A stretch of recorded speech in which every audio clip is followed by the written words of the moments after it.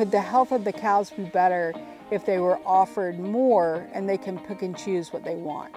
We're actually going to experiment. We're going to switch from a loose mineral to a cafeteria style mineral feeder. So this is our current mineral feeder. We keep these feeders full and when the cows want mineral, they just come up to it, they put their head in, lift it, and they eat as much as they want and then this flap comes down and seals it so it doesn't get wet. But we built this system because we move our cows so often, we have to move the mineral with them. The only thing that I wonder about is, since it's all mixed together and, and of relatively limited minerals, vitamins, that kind of thing,